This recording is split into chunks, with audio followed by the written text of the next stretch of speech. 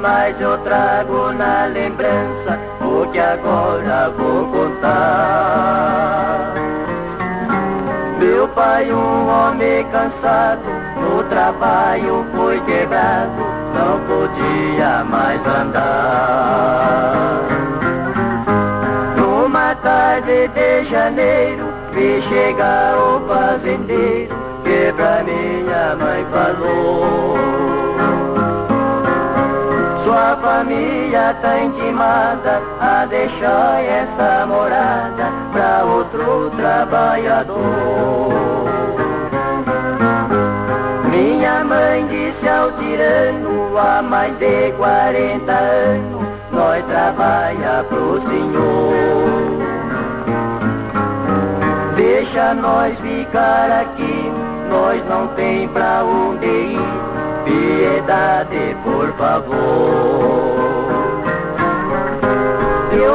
Malvado fazendeiro não quis dar nenhum dinheiro e jogou nós na estrada.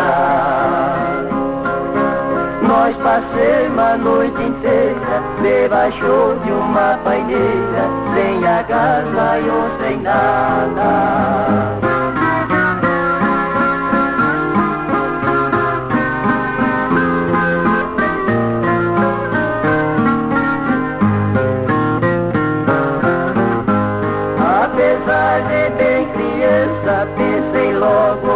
vingança sem medo em matar.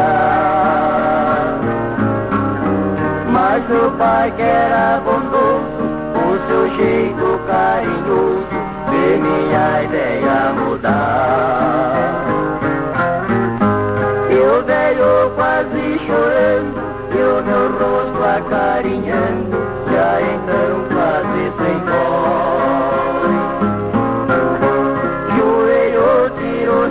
céu e sonhando para o céu.